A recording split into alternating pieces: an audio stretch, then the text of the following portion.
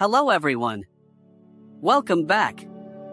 Today, we're diving into a very important topic for many students and job seekers, how to open the TCS Ion Digital Zone. This digital zone is where a lot of TCS exams and other important tests take place. Knowing how to access it and navigate it smoothly can save you a lot of stress on exam day. We will cover everything from finding a center near you, the required documents, and the booking process.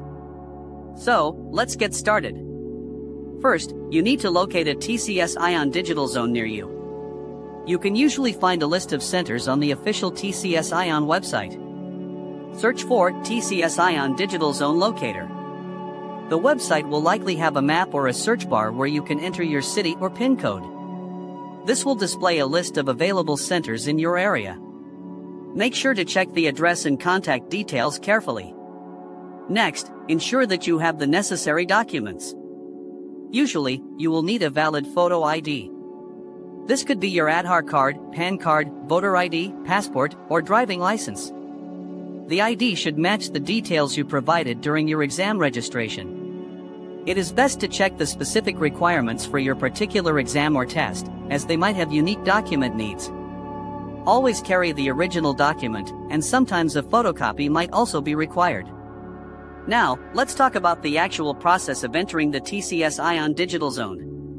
When you arrive at the center, you'll usually find a reception or registration desk. You'll need to present your admit card or hall ticket, along with your photo ID, to the staff. They will verify your details and guide you to your designated computer. Pay close attention to their instructions. They might ask you to leave your belongings in a designated area.